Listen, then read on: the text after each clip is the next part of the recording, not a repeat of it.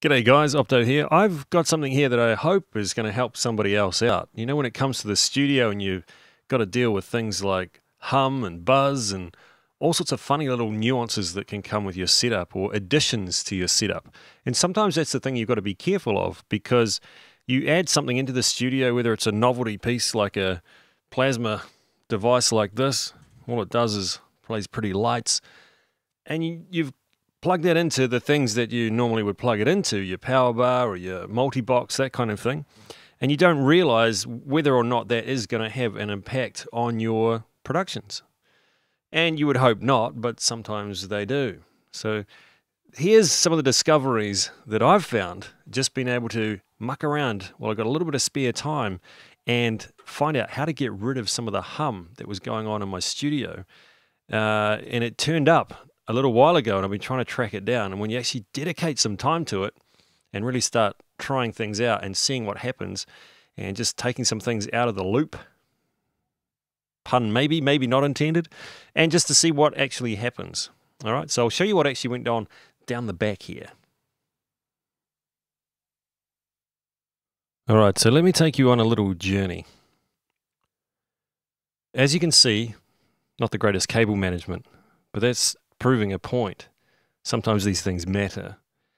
So the very first attempt that I did was just to go and start turning things off. The first thing I actually reached for was this wall wart, which was a addition for a plasma little device which I had for a live broadcast, so just as a visual effect.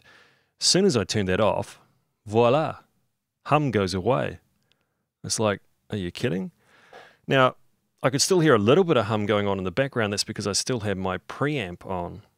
The reason I found out about this is because I had actually taken a multi box into the voice booth and I thought, okay, we'll just keep the cable management, don't have more cables coming out the door. But what was actually happening is I'd actually created another earth loop.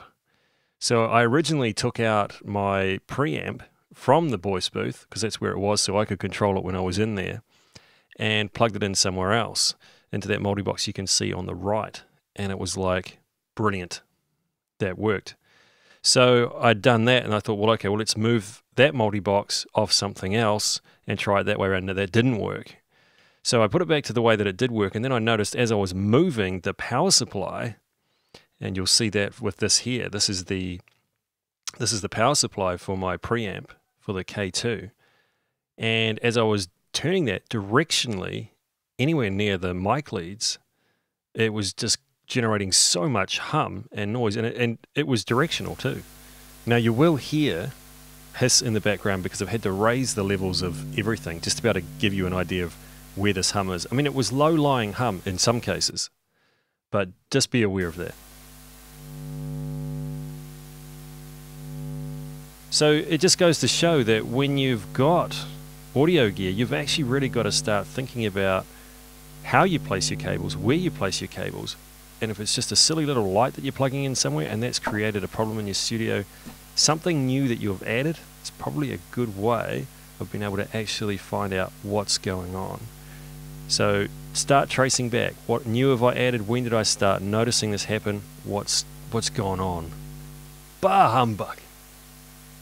Hopefully this has helped somebody in regards to eliminating hum in the studio and just thinking about cable management and whereabouts you place your cables and what things may impact that. So if you haven't already, guys, please subscribe to the channel. Uh, if not, uh, give us a thumbs up at least. That'd be great if we've helped you out. Always good to know that we're helping people. Take care. Cheers.